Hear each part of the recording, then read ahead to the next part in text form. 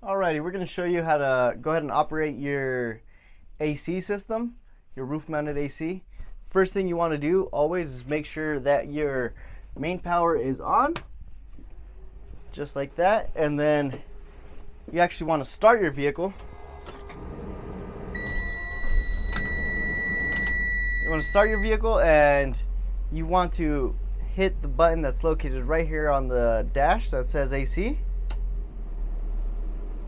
There you will see that our AC has now started.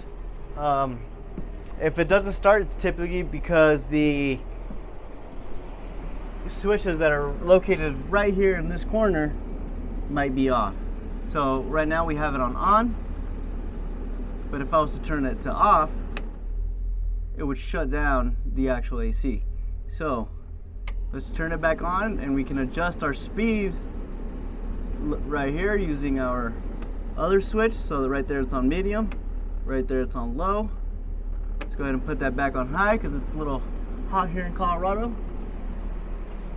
But that is how you operate your roof mounted AC. So just make sure that you turn on the master power switch located in the front and then the master AC switch power which is located there.